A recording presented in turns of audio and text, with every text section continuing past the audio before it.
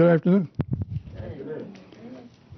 One thing, uh, Mr. Grant and Mr. And myself, we do not know when we do these sermons who is watching us. You know, outside the Church of God, that is. And so I thought it'd be a good idea. Last week, we went back to remembrance, and we're going to go back this time. We're going to go way back to find out what happened, what we do, the things we do, and bring us right up to date. For those who are watching this and you're not a person of church, you're not part of the Church of God, check this stuff out and see if I'm telling you the truth or not. If you observe any type of religious service, you may want to know why you do that. And maybe you might be wrong in what you're doing. So if you need a title for this sermon today, it's called Baal, the God of Modern Christianity. Baal, the God of Modern Christianity. It is true that very few professing Christians know why they observe the days they do. They probably don't know at all. Why is it men all over the world observe so many different ways, days of worship? What did they do that for? So many foolish customs. And they do. What you're going to see now, we're in the, we're in the, the Lent phase. I think Lent started on uh, the 14th, on Wednesday, on Valentine's Day, which is another stupid day. And during this Lent, you'll watch it. You'll see, probably from the Philippines, people doing cruel penance to themselves, crucifying themselves through customs and traditions. And I don't know why they would do stuff like that. They would beat themselves with cords on the back, or somebody would beat them as they go down the street. So why did they do that?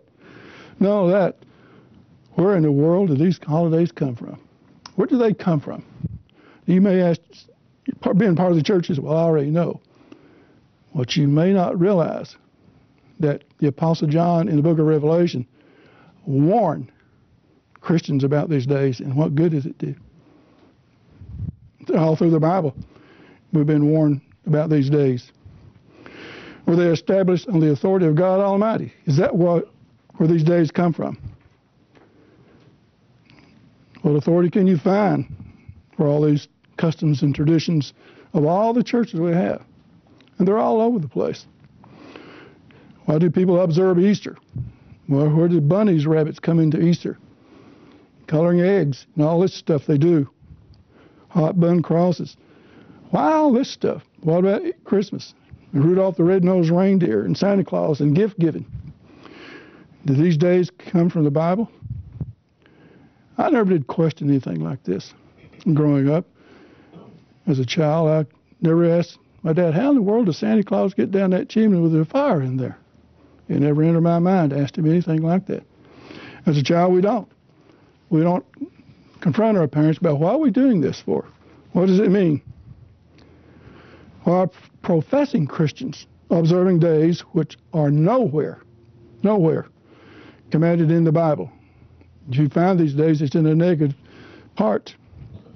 Jesus didn't keep any of these days, nor did the apostles keep them. And Christ is the founder of Christianity. He didn't keep anything like this. The very founder of Christianity never observed any of these days. So how did they come dignified with his name, with the name Christianity? How in the world did all this happen? Who conspired to have these have them replace days God made holy? And how did all this happen? It's kind of fascinating, folks. It took me a little while to go through all this because I have to leave a lot of it out because it'd be a three-part sermon to go through all of this stuff. But it is fascinating how we come to believe what we believe, and it's stuck in our minds. It's, you can't get it out. You simply cannot get it out. So it was God Almighty who created time, did He not? But it was man who abused it. God created time and man abused it. When God created the heavens and the earth, He said in Genesis 1, verse 14, Let there be light in the firmaments of the heavens to divide the days from the night, and let them be for signs and for seasons, for days, and for years. The earth rotation regulates the length of a day, which God set in motion. The lunar phase indicates the length of a month. And the orbit around the earth, the earth, the earth around the sun indicates the length of a year. So God did all this timing, the month, the days, and the years. He is the author of time, as I said, but man has abused time. Since God alone created time, He alone has the authority to set aside certain days for worship and to make them holy. He alone has that privilege to do such things as that. But what we may not is, do you ever wonder why human beings like to observe things, like to worship things? Because it's put in our nature to do that. It is put in our nature to to to desire to observe certain days. We make up our own mind. It's a basic drive in the human nature to want to worship something. And that's what we do. That's what we do. That's why every tribe and every nation, every religion, every religion singles out certain times to worship. Every, all over this earth, they're doing something to worship some type of God they have created in their own minds. I tell God all the time, we're a bunch of stupid people, aren't we? We create a God in our own mind and, and tell it what it, we want it to do. And we're our own gods, aren't we? And we are very foolish. Human beings are. But without God's own instructions, man cannot know which days God Himself made holy. Did you know that? I didn't know it. I observed Sunday, Christmas, Easter, all these days, and I had no idea that what I was doing was wrong. Had no clue whatsoever. And uh, you'd think that my father would have taught me since he was a minister. But he himself did not know. And no, neither does any of the other ministers today know. I was listening to, scanning the television, there was Pat Robertson in the 700 Club. Someone wrote and asked him a question. What does this mean? Uh, it's in Matthew, 5th chapter, verse uh, Think not I have come to destroy the law, but fulfill it. They want to know the answer to that. This guy, this is why the world is the shape it is in. He thinks he talks to God every January. He said, Jesus Christ fulfilled the law. You don't have to do that no more. His death fulfilled the law. Folks, that's impossible. Because if you keep on reading, he tells you exactly what he means when you fulfill the law. If you lust in your mind, then you're sinning. But Pat Robertson didn't say that. He said he did it for you. He lived, he kept the law for you in your stead. That means I can't sin. Is that right? There is no law where there is no transgression. There is no law. So how's that possible? Here is the man who, who millions of people listen to, who deceive people because he doesn't know what he's talking about. Not a clue. He thinks the kingdom of God is in your mind. So he worships things that he does not know why he does it. The thing is, God has not left worship to humans' whim. Whatever you want to do, let's do it. Depending on your desires, your ideas, what you want to do, human traditions. That's what I want to do. I want to do it when I want to do it, and when I want to do it, and how I want to do it.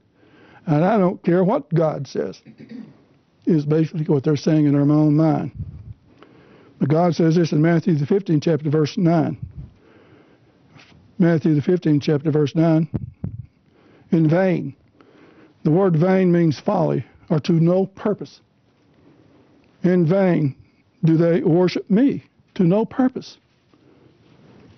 Teachings were the doctrines and the commandments of men.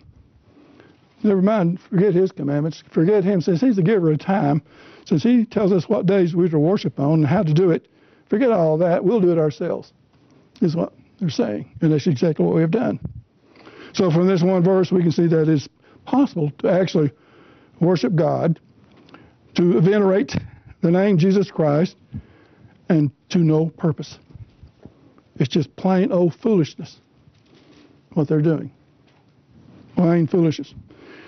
He goes on to say, full well you reject the commandments of God. Is that just what I told you? Is that what Pat Robertson said?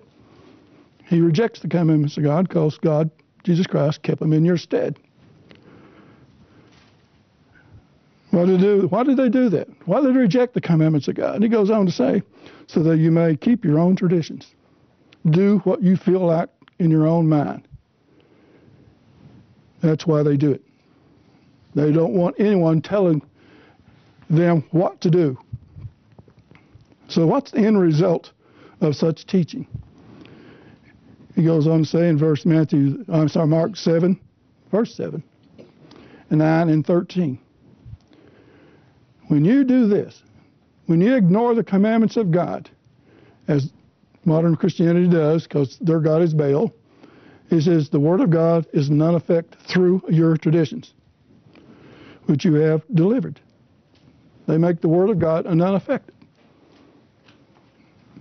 for what they've done, what they were doing. Just as Satan deceives men into pagan Sunday worship observance, instead of keeping God's Sabbath day, Satan has instituted these holy days, these holidays, because there was a void there. And so you have to fill the void. And so modern Christianity has used Baal to fill that void. And we'll go through what, who Baal is and what's going on here. Because, like I say, it's extremely interesting to know this. So that's what happens. You have to fill the void, and Satan has filled that void with the days which we love. Didn't you love Christmas as a child? I did. You know, I remember, I guess I was 12, 13, somewhere in that area. We went to the Christmas play at night where my dad was preaching. You know, they had the nativity scene they had a big Christmas tree in there. I can't remember if we got presents or not, but we did get candy and oranges and things like that. But as I left the church, went home, it started to snow. And I said, There is a picture postcard Christmas right there. And you can't get that out of your mind. You enjoy things like that. You enjoy the music of Christmas. You enjoy the sounds. You enjoy the smell, especially if you got a cedar tree in your house. You enjoy the bright lights and all that stuff. As a child, you do enjoy that. And you pass it on to your children. That's what Satan has done. He made it fun. He made these holidays fun. Easter the same way. To color Easter eggs and go hunt them, all that stuff, and dress up and all this stuff. And he makes it fun for people. They are counterfeits these days, these holidays, just as Satan himself is a counterfeit of Jesus Christ. What do you think he did this for? What do you think Satan inspired these religious people to do this for? One reason to hide the plan of God, the supreme plan of God to bring many sons and daughters into salvation. That's why he did it. He does not want them to know this, and they don't know it. I mean, I'm around them. They don't know. They don't know why they're alive. And I didn't for the first 30 years of my life, so I was just like them. Had no clue these holidays that people observe today, there appear to be happy. It has to be that way, or you wouldn't keep them. There appear to be happy times, right? Family comes in, times to enjoy yourself. It makes it really nice. This can't be bad. How can God reject this? We're having such a wonderful time. But in reality, this is what they are.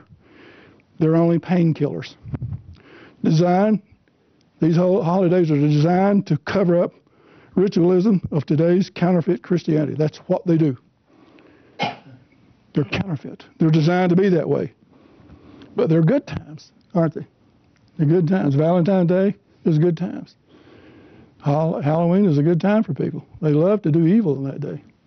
Doesn't make sense, but they love to do that. They're just painkillers designed to cover up the empty ritualism of today's modern Christianity. That's all it is. So I said they had to fill the void, and this is what Satan has done. He has filled that void that way. But why? Why in the world no one seems to question Satan's day? Why don't they question it? They just seem to be, it's a Christian. It has to be, this is Christian. Everybody does it, so it has to be of God, it has to be Christianity. But no one questions it. I didn't, did you? I do today. It has saved me a ton of money not observing Christmas. And clothes and things for Easter. I've got that one little picture. I bring that one day. It's on Easter. I know it was because I'm all dressed up. I'm probably about 11 years old, surrounded by little girls in their Easter outfits also, right in front of the church. So I got to dress up.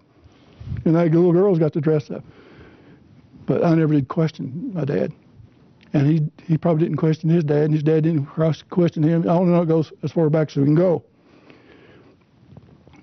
Satan's pagan holidays is nothing more than a diabolical scheme to plunge and deceive mankind. Which way, folks?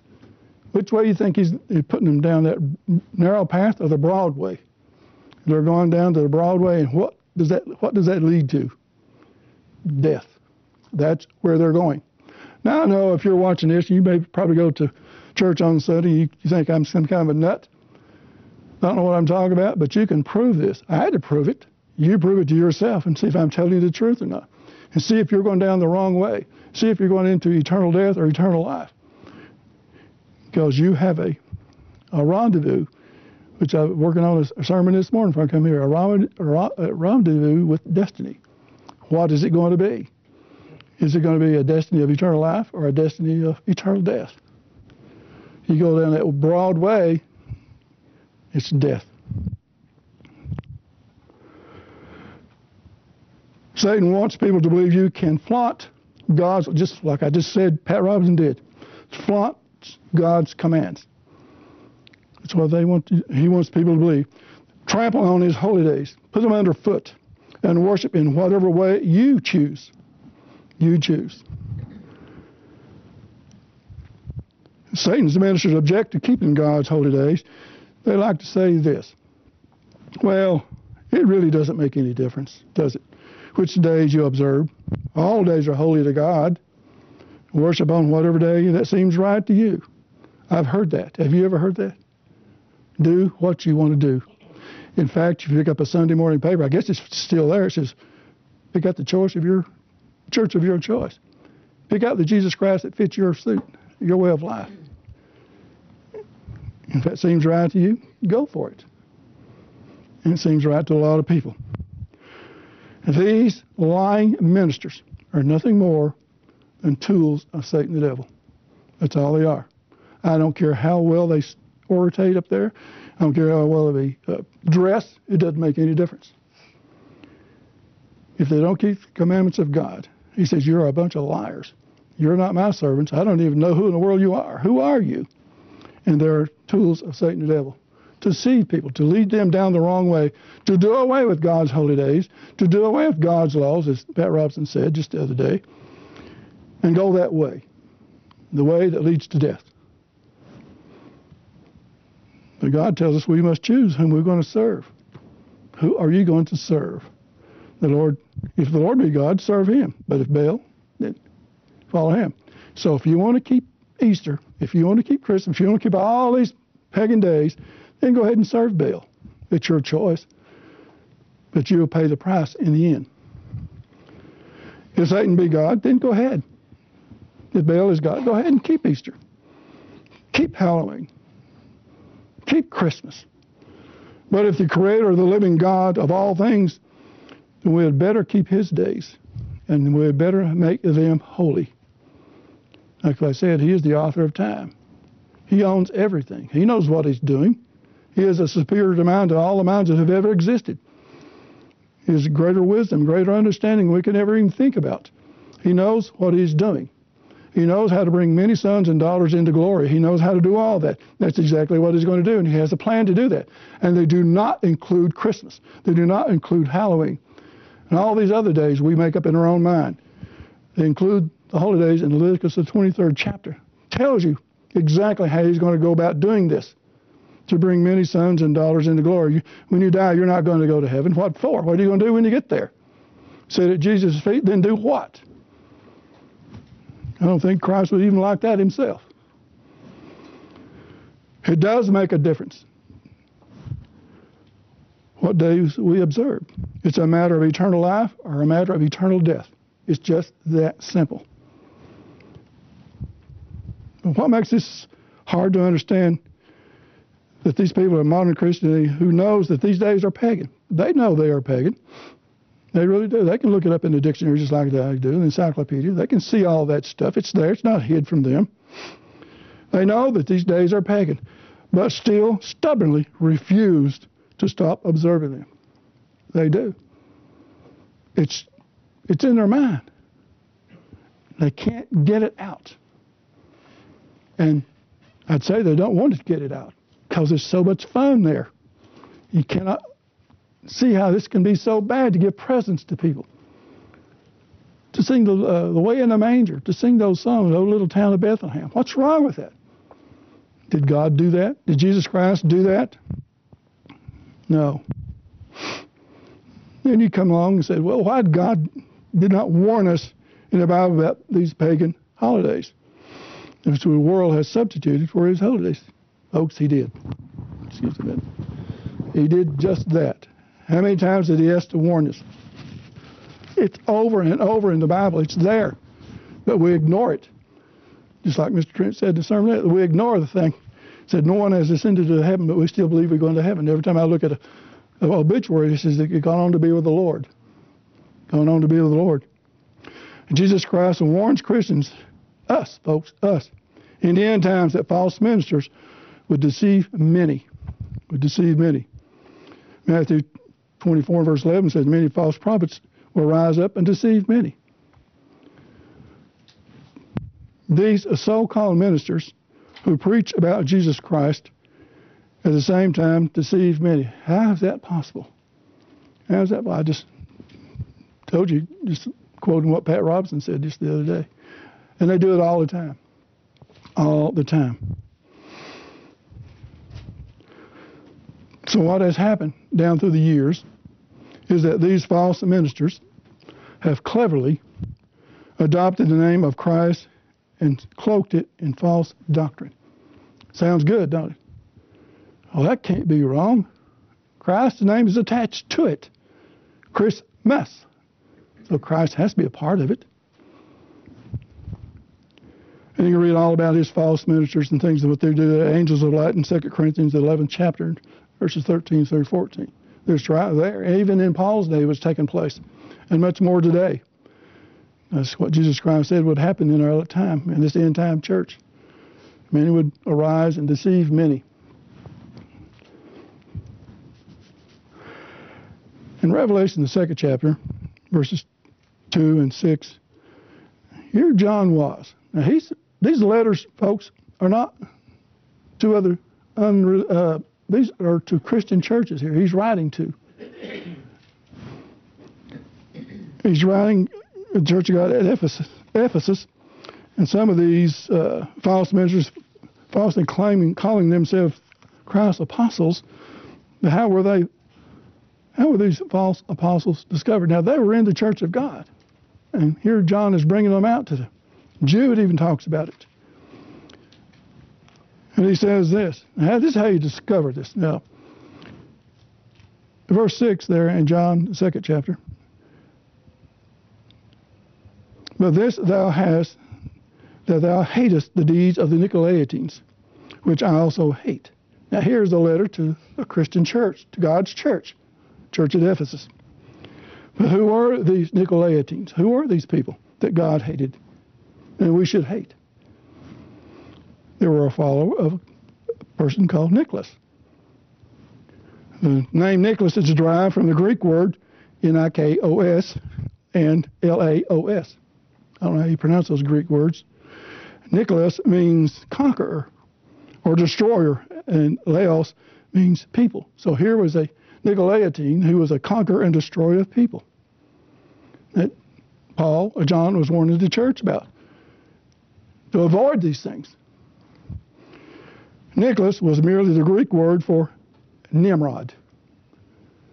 And I see this on Ancient Aliens the other day talking about all this stuff the original arch rebel who conquered the people and founded and found made man, made man religions within two centuries after the flood. Nimrod. You hear a little, very little about that, don't you? But he was uh, Nicholas. It's just like this, just another Greek for the word Nimrod. And we all know who Nimrod was. When Nimrod was alive, he put himself in place of God by his dictatorial rule. When this man died, the people continued to worship him as a divine hero. His wife was an ambitious person.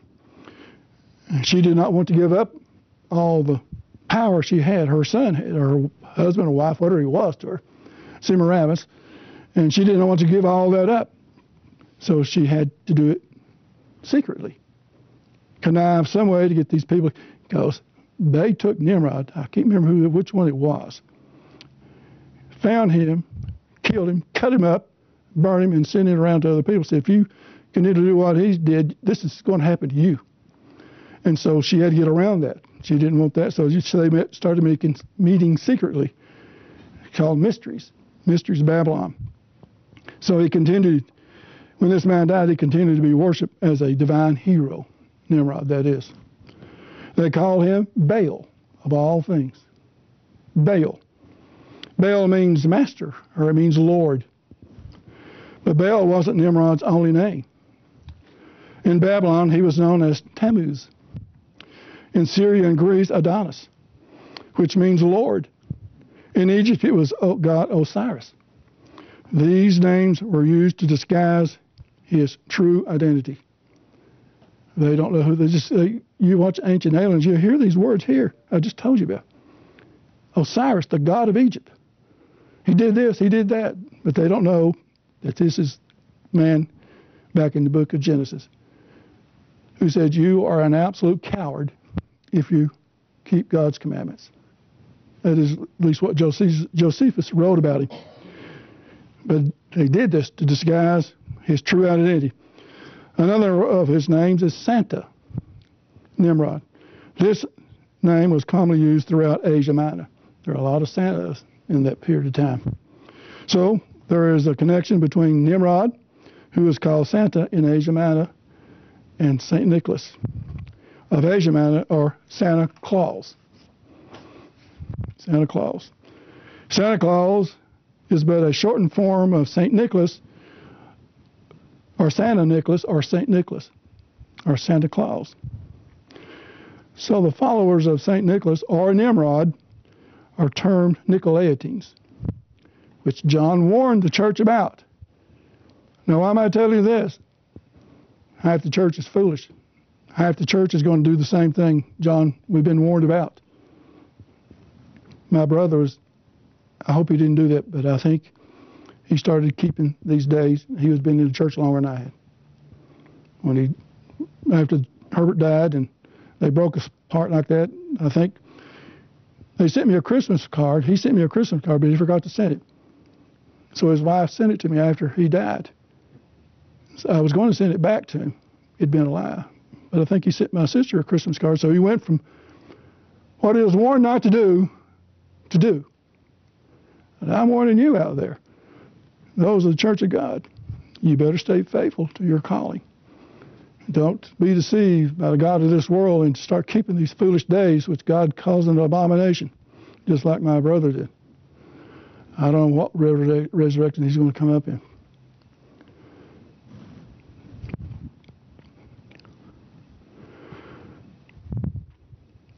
So in the New Testament, like I said, uh, St. Nicholas or Nimrod is termed Nicolaitans in the New Testament. Now remember, these people call themselves Christians, folks that were doing this. Christians. But they continued to honor Nimrod in the days of the Apostle John just as they do today. Just as the uh, modern descendants of the ancient house of Israel are still doing it. And so a lot of the spiritual Israelites are doing the same thing. Nimrod was opposed to God. The phrase, the phrase in the Bible, a mighty hunter before God, indicates that he set himself in opposition to and in place of the Lord. That's what man does. That's what the pharaohs call themselves gods. That's what the Roman emperors do. They call themselves gods. I'm a god. Yeah, well, let's see how long you live, God. Some of them live to be 90 years old. They all die. And they're all waiting on a resurrection.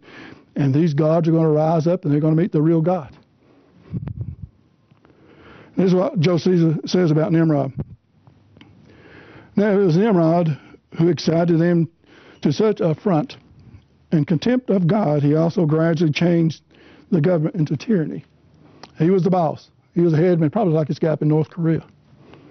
You do what I say when I say. You jump, and you jump as high as I tell you to jump. He taught that it was wrong. It was a, you'll be a coward to submit to God and to His laws. This was the doctrine of the Nicolaitans, which, which God, I mean, which John was inspired by Jesus Christ to warn the church. Don't do this. I hate this stuff that you're doing. In Revelation, the 17th chapter, verse 5, we see that God names and labels this false religion by the city of its origins. It's Revelation 17, verse 5, and it says, Upon her forehead was a name written, Mystery Babylon the Great, the mother of harlots and the abominations of the earth. The mother of harlots and abominations. Revelation 18, verse 1 through 8, this system has been perpetuated down to our very day today. That's why God says to us, Come out of her, my people, and be not partaker of her plagues. But who's paying any attention to that? That's way back then. That's 2,000 years ago. He's talking to us today. Remember, the book of Revelation is a futuristic book. It goes back and, and, and with bring instant chapters there to bring us up to date, but mostly it's a futuristic book looking down to our time today, just for the return of Jesus Christ. That the true church is still not come out of Babylon. At least a lot of them haven't. And he's warning us. Since the time of Babel, and continuing to our modern 21st century, these false religions of Nimrod has uh, dominated the world. That's true, folks. That's true. Just look around you and watch what happens. In a couple of weeks, or when is it? whenever Easter is, it comes after the Passover. Around the world, they'll start observing this stuff.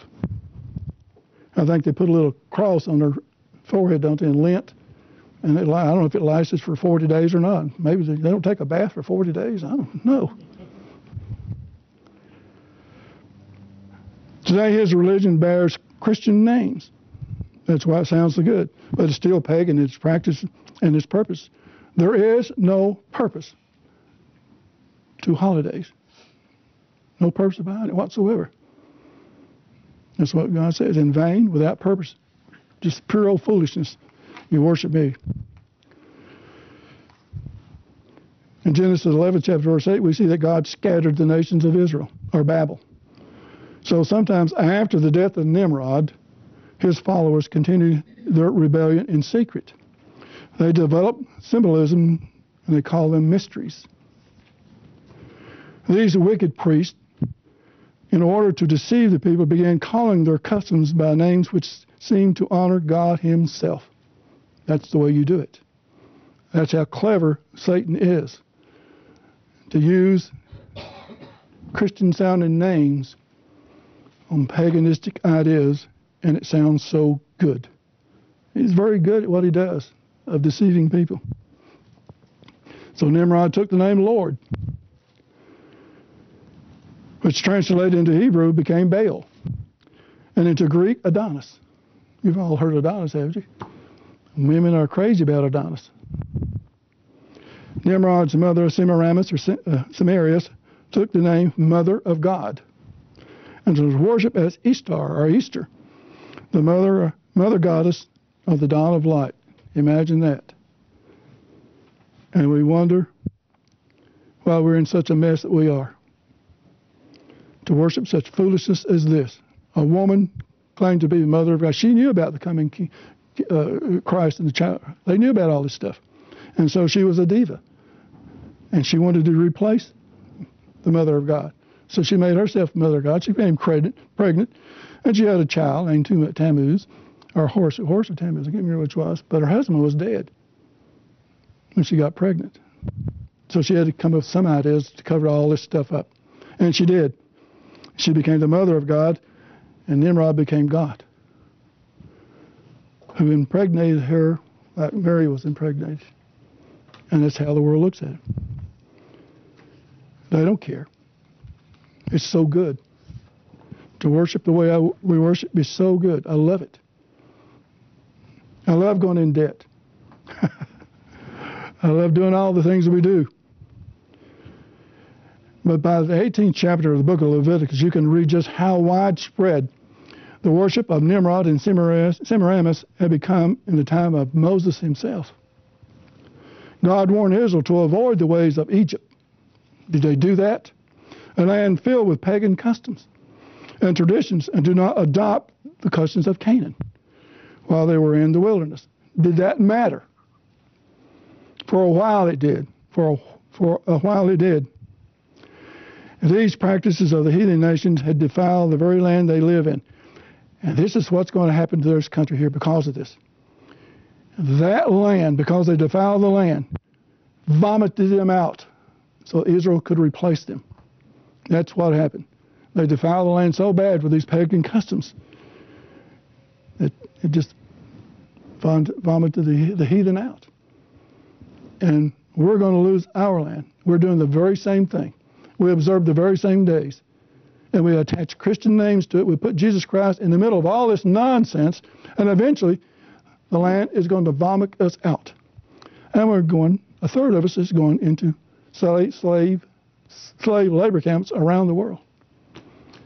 And I don't know if anybody's going to replace this, this, but because of uh, maybe nuclear weapons are going to be let loose on all the cities in America. But why was God so against such heathen practices in the first place? Leviticus, the 18th chapter.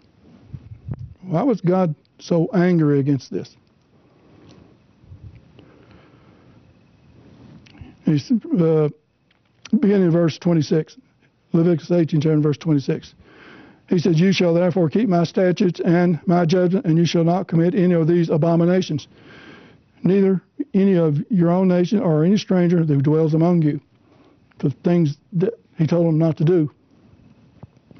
For all these abominations the men of the land have done who were before you, and thus the land was defiled. Lest the land vomit you out when you defile it, it'll vomit. Uh, when you defile it, as it vomit out the nations that were before you, and they were gone. He's, tell, he's warning them. He's warning Israel, don't you do this. Or you're gone too if you do it. Were they gone? Did it happen to them? Did both the house of Israel, when they split, and the house of Judah, did the land vomit them out and throw them out? Yeah, Israel has never returned to, uh, to Jerusalem. The Jews have, but Israel has not. Therefore, you shall keep my ordinance so that you do not commit any of these abominable customs which were committed before you, and that you do not defile yourself by them. I am the Lord your God. Did it matter? Here's a direct warning from God Himself to the people of Israel back then. Did it matter? For a while, they probably kept it. For a while, ancient house of Israel kept it. God punished these heathen nations who defile themselves by taking all these pagan customs and doing those things. And he cast them out of the land so Israel could inhabit those lands. And he warned them, if you do the same thing, you're gone too. And they eventually were gone. So, what's the penalty for observing the customs of the paganistic heathen way?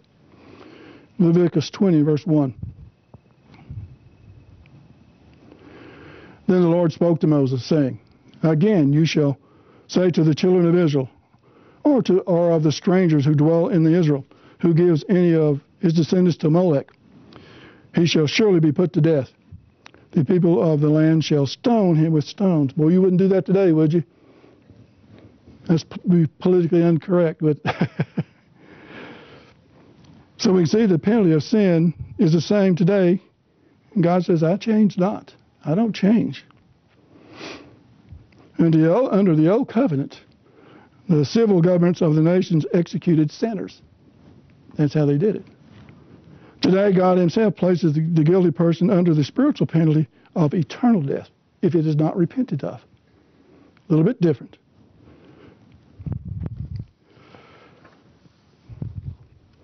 How many of so called Christians assume that because they have always worshiped on pagan days and are still alive, they have somehow escaped the death penalty. Well, all of them. All of them. But in reality, is that Jesus Christ is about to return. which will come back with a sharp two edged sword of God's word to condemn and to execute those who assume they can flaunt God's laws and not pay with their lives. We are going to pay, folks, harshly. God instructed his people to keep the holy days, he revealed to them. It doesn't seem to matter what God says. He says in eight, uh, Luke 18, verse 4, You shall observe my judgments and keep my ordinances and to walk in them. I am the Lord your God. I'm not changed. I'm still the same. You shall therefore keep my statutes and my judgments, which if a man does, he shall live. By them I am the Lord. You shall live, not die. You live. You're going down the right path by not keeping these days. Among the statutes God was, has given Israel are the holy days. These days are reveal the way to salvation and eternal life. To keep those who keep them. That's what we want. We're not here just to be here. We're here for a purpose. We're here, first of all, because we're commanded to be here. We're here to learn. We're here to learn the Word of God. We're here to learn how to correct the mistakes in our lives, to what is right and what is wrong. We're here to, to grow in the grace and knowledge of Jesus Christ. We're here to grow up spiritually. We're here to develop the very heart and mind of God Himself. That's why we're here. So one day when Jesus Christ comes back, He can say, Oh, there's one I want. I can see something there that I want to keep permanently forever. So He changes that person to a glorified spirit being who looks just like Him, who does not worship idols, who does not commit adultery, who does not break his laws on a continually daily basis, who knows and understands what sin is. He knows and keeps all these things. And he says, God says, I will bless Israel abundantly if, there's that little bitty word, if, if they keep his holy days. And he says, if you don't do that, you can read that in Leviticus 26 chapter, verses 1 through 13. I'll bless you if you do these things. But if you do not do this, God says, on the other hand, you're going to suffer. And you're going to suffer terribly. It'll be from 14 through 39. Curses and blessings. Why would anyone be, want to be cursed by God? I don't know. I can't answer another person's mind. But the thing about it was, and this is this is why people do what they do. And Isaiah, uh, Isaiah, but Jeremiah brings it right out under the inspiration. It is not in the heart of the human mind to obey God. That's it. We were not born to obey God. Our natural mind is hostile against God, as Paul writes about that in Romans. It hates God's laws. It's not subject to those laws at all. In Deuteronomy, the fifth chapter, in verse 5, verse 29, here God is pleading with us pleading the ancient house of Israel. Reminds me he's pleading to us today, to modern descendants, and even the church. Oh, God says, there was such a heart in them they would fear me and always keep my commandments, that it might be well with them and their children forever. What in the world is wrong with what he just said? To be well with you and your children. To be blessed. Just obey me. That's it. Obey me. Jeremiah says the heart is de- uh, deceitful above all things and desperately wicked. Who can know it? that's why people do what they do. It's the heart is carnal. It is carnal. It is in, against God. And that can't change until Jesus Christ comes back. So less than three months ago, we and is the people around the world celebrated the customs of call Christmas. Now, this is where it gets interesting, folks. And guess what? I'm going to cut it short just a second here. In March, I guess March, and then next time I speak. So Christmas was celebrated, celebrated in Rome long before the birth of Jesus Christ. They were called Saturnalia. That's what they were called then. Toward the end of December, the Romans set aside several days to celebrate the winter solstice. That is when the sun reached the lowest point in the heavens, and the days were shortened. The highest point of the solar festival was called Saturnalia. And how did they observe that? What were the customs of Saturnalia? They're the same things, identical today that professing Christians keep. Now, this is what the dictionary of Greek and Roman antiquities, I think it's pronounced Oscilia, O S C I L L A. In, in private, the day Saturnalia, this is what it says about it, began with the sacrifice of a young pig. All ranks devoted themselves to feasting, and mirth and presents were, were interchanged among friends, and the crowds thronged the streets shouting Saturnalia. The offerings were made beneath a decorated tree. Virgil the poet mentions is either a pine or an evergreen. Figurines and masks are called O-S-C-I-L-L-A, and they were hung on the tree just like Christians decorate today. I want to stop there because it gets a lot of interesting as we go on next time I'm up here. And I think it's so interesting to know why we do the things we do and observe the things we do in which God says they're an abomination, especially those in the church of God. He warns us, folks, not to do this. And hopefully one day when Jesus Christ comes back, we'll finally understand.